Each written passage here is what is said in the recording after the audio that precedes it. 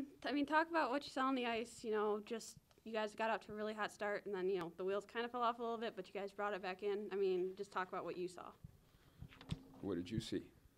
I saw a team almost fall off the wheels. Y- You know, it, it was it, it was a battle tonight. I mean, we're playing uh, one of the best teams in the country. Obviously, uh, they have not lost in their last 11 hockey games, uh, so we knew it would be a battle, and that you know whether you scored or not, they were going to continue to press. Uh, we took advantage of some early opportunities, but and then we got we got a little bit sloppy. Things that uh, you know shouldn't happen. Obviously, some of the penalties that we took uh, were not good ones, and we've discussed that and realized that we need to to change some things that way. But our compete level, guys stepping up, our penalty kill was outstanding when we needed it. Uh, I actually really liked our power play. I, I thought our five on three was outstanding.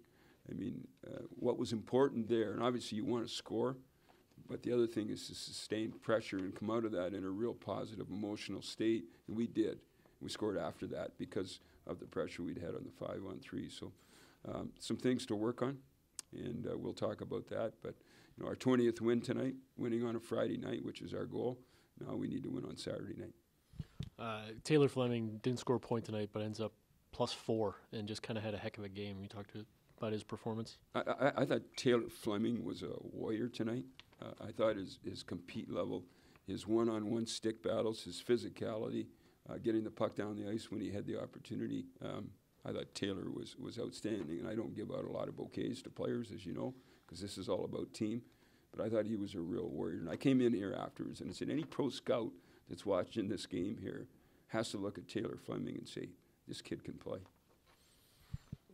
Just talk about some of the things you really liked out there. You, you did get outshot, but it didn't kind of seem like a lot of them were that from that dangerous of areas. You, you know, I actually liked our defensive coverage tonight. Uh, I thought our ability to kill plays down low in our zone was pretty effective. A lot of their shots were from the outside on the rush, but I mean, let, let's face it. I mean, uh, they're a team with a lot of quality seniors and junior players and some great players, and some of the top players in our league play for Minnesota Duluth. So to think that it's going to be easy or we're not going to have scoring chances against, I mean, they, they're a really good team. They competed hard. They're going to come back at us tomorrow night again as well. They got a lot of pride, and uh, tomorrow will be a real battle as well. One thing I want to say, whether, whether the question gets asked or not here, I, I thought our marketing department here and uh, our administration did an unbelievable job here tonight of uh, filling the building up with the fact that we didn't have our student body here. They're all away on spring break, and we adopted a lot of lunatics tonight, and a lot of older people were acting like lunatics, and